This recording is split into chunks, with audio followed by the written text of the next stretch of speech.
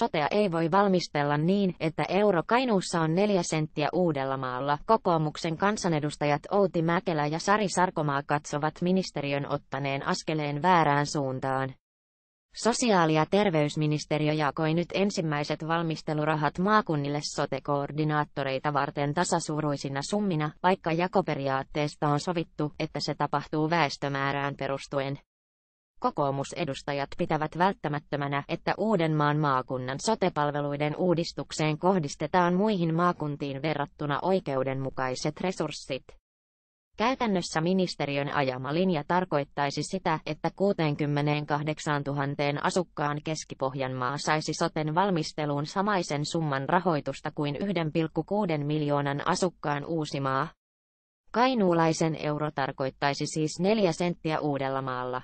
Kyseinen suunta on erittäin huolestuttava ja jatkaessaan vaarantaisi uudistuksen valmistelun Uudellamaalla, kansanedustajat Outi Mäkelä ja Sari Sarkomaa toteavat.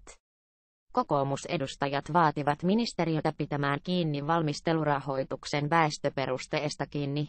Ministeriöstä on luvattu, että väestömäärä huomioidaan rahanjaossa. Maakuntien erilaisuus ja voimavarat on huomioitava uudistusta tehtäessä. Jos sotea ei saada toimimaan Uudellamaalla, niin ei sitten missään, kokoomusedustajat summaavat. Ministeriössä on suunniteltu myös, että maakunnan kuntien määrä toimisi yhtenä kriteerinä valmistelurahoituksen myöntämisessä siten, että kuntien määrältään runsaslukuiset maakunnat olisivat voittajia. Kokoomusedustajat pitävät kyseistä kriteeriä vääränä kannusteina ja vailla perusteluja olevana.